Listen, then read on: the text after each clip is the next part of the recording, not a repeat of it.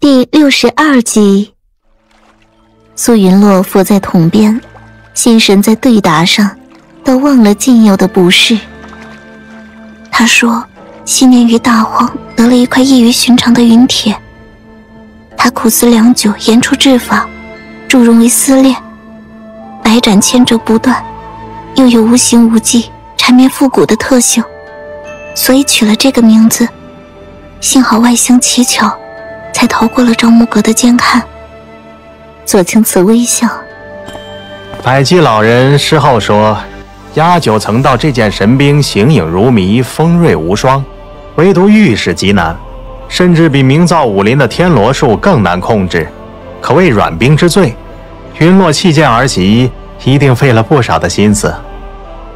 确实不易。若不是用剑太容易被人看出来历，给我神兵也不换。半路改换武器，其中的艰辛言语难以道尽。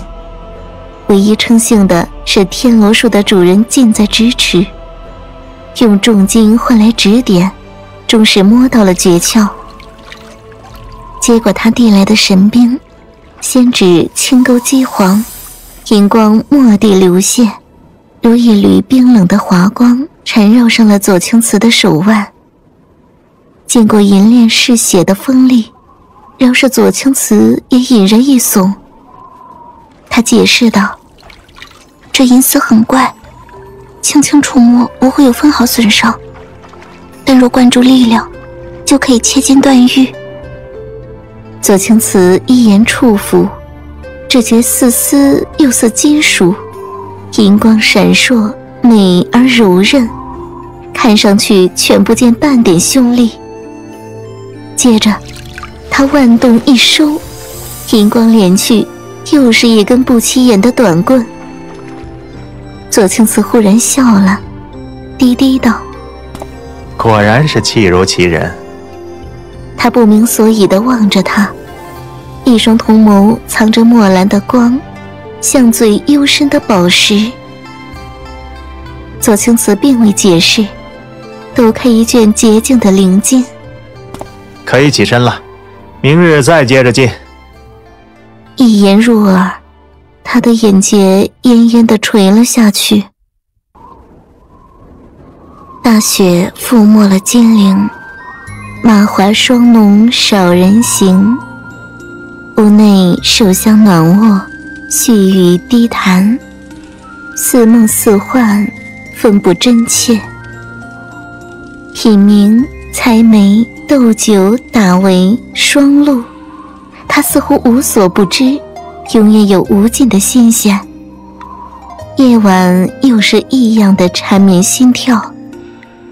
尽管天性的警惕提醒他不该久留，却敌不过他的诱惑，在思魔中逐渐沉沦。白沫从檐下过，望着漫天飞雪，紧了紧袖子。对秦晨道：“二公子的帖子来了，邀公子听戏。公子不会去的。”秦晨连通报都省了。两人都知道，公子近日无心于应酬。美人在怀，谁还愿意天寒地冻的出去敷衍？只是这一阵儿邀请频繁，再推下去，白墨已经快寻不出借口了。下一次或许二公子会亲至，腰这么紧，你猜是什么缘故？秦晨慢道：“大约是想说动公子回府。”白沫也隐约有所感。这次要在金陵过年，不回府说不过去，可真要是应了，只怕麻烦更多。其中的厉害，没人比公子更清楚。秦晨懒于多想。香要烧完了。稍后进去换一换，顺便把新的蜜柑捡几个送上去。晚上加一道剪云啄鱼羹。这时令的蜜柑不仅昂贵，更非一般人能够得。白沫啧了一声，也不知公子这次能新鲜多久。要是最后弄得崔家九妹一般要杀人，你可得当心了。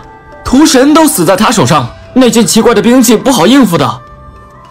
秦晨白了他一眼，弹起一块银炭，击在对方额上，啪然一响。暖榻上的妇人肤白貌美，半身覆着秋毯，带着常年养尊处优的气质。手边缠着一串玉佛珠，他还是不肯应。屋子门扉紧闭，香薰的极浓，几乎让人有些恶心。左清怀早已习惯了这种味道，垂手而立，目光落在足尖。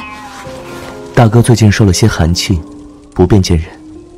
带着金甲的指缓缓捏过玉珠，妇人的神态有一种金贵的傲慢。过几日再去请。既然是一家人，怎么偏要独居在外？是。左清怀只应了一个字。多带些朋友，让他们也帮着劝一劝。妇人的话语迎着淡淡的不屑。见妇而不入，知亲而不敬，这是什么道理？不管他立了多大的奇功，总为人子，若是连亲长都无视，不知礼数，不明孝悌，我看他也不配再姓左。左清怀在这个房中一贯的惜言如金，不到不得已是不开口的。妇人静了一会儿，轻哼一声：“哼，早年他体弱，我也是极疼这孩子。后来不知被什么人劫去，病愈归来，却被叫得忘形无礼。侯爷大概是惊喜过度，什么都纵着他。我身为嫡母。”不能放任不理。你可问过当年带走他的是谁？左清怀字斟句酌，仅说是拜了一个山野师傅，并未道出是什么人。一旁的侍女奉上汤药，随客的嬷嬷接过送至岸边，妇人没有理会。听说在福州出了些不合礼数之事，可是真的？这是在问事件台上的事了，左清怀尽量小心。是有些意外，大哥风采不俗，引得胡姬戏弄了一番。这样的回答显然无法令人满意。妇人端起药碗，指尖搭在盖上，冷淡道：“你翅膀硬了，什么话都不爱说，是不是瞧着我半瘫了？”什么也管不了，索性当我是个聋子。左清怀一身冷汗，立即跪下，不敢申辩。孩儿不敢。妇人又舒淡的笑了，对着身边的嬷嬷道：“这孩子怎么说跪就跪？我不过抱怨一句，要叫外人见了，只怕还以为他受了什么刻薄。”左清怀愈加不敢抬头。孩儿行事无方，母亲教导自是应该。妇人慢慢饮了药，侍女们依序服侍，清茶数尺，侍手整衣。忙碌了好一会儿，最后又含了一片丁香，妇人这才缓缓道：“起来吧，你若能领会，也不枉我一片苦心。”侯爷近期似乎在为你们斟酌婚姻之事，你可有心仪的姑娘？不妨与我说一说。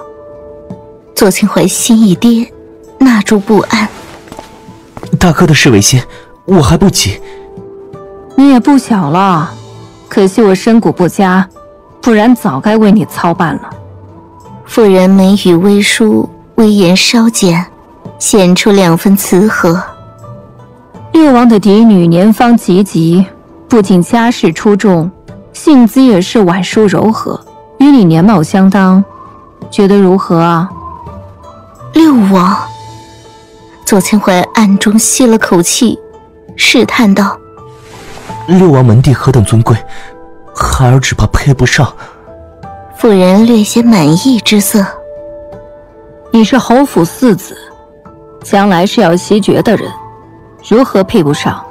不必妄自菲薄，只要谨守本分，我自会为你徐徐图之。左清怀默然，唯有低声应是。这些琐事就无需劳动侯爷知晓了，先让他回来，与那些山野人断了纠缠，省得弄出笑话，折损了侯府的声名。短暂的和缓消失了，妇人不冷不热道：“静安侯府，可不是没规矩的地方。等人进来，我再细细教吧。”左清怀辞退。妇人望着他的背影，目中透出厌恶和轻鄙。也没长成的妻子，却有自己的心思，忘了身份和恩主，已然是最大的罪眼。妇人默然了一会儿，淡道：“侯爷想见他入光禄勋？哼，替我你输给皇兄，就说他还太毛躁，行事无方。”适宜再磨一磨。嬷嬷和声应了，又禀道：“公主，一时辰该知足了。”妇人的脸庞阴云顿起，抗拒中带着说不出的烦躁，最终还是点了一下头。宫嬷揭开安华公主膝上覆的紫裘，锦绣衣料如霞光绚丽。奢华尊贵，随着袜子褪去，露出妇人一双养护极好的脚。两名侍女摆上熏炉，用玉片挑出紫色的药膏，只化了抹上足底，又用烫热的阴杵着力按揉，异样的恶臭从炙软的药膏散出。安华公主痛得脸庞扭曲，五官狰狞，将身畔的小侍婢拉过来，又掐又抓。小侍婢不敢反抗，更不敢出声，疼得浑身颤抖。妇人犹不解恨，拾起银针，重重地戳她的手，鲜血飞溅出来。一应侍女垂手恍若不见，满室唯有妇人的粗喘。足足治了小半个时辰，侍女收了药具，捧来银盆为妇人沐足。